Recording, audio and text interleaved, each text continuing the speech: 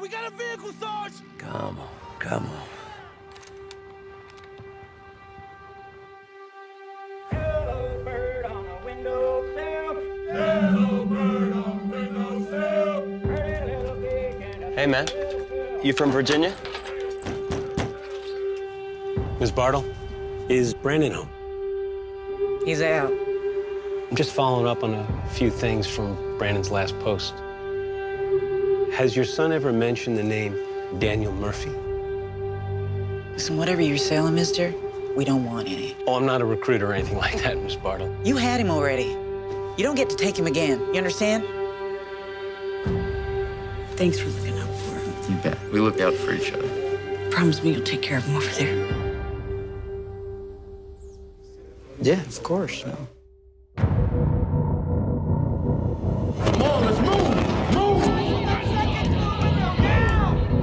Guys have to promise to do what I say.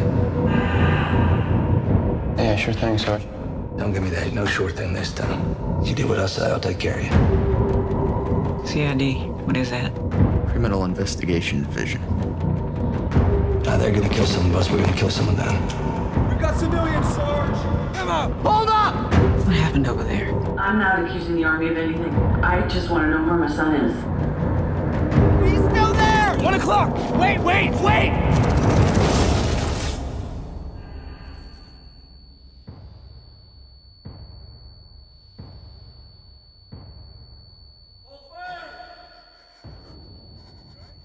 Like you guys are my guys, right?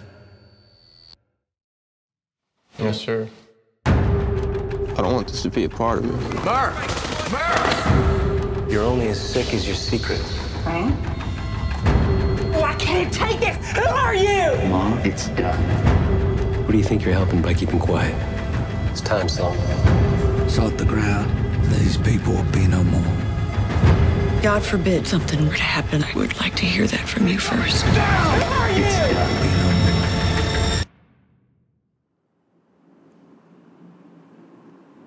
You said you wanted to uh, hear it from me first. Here I am.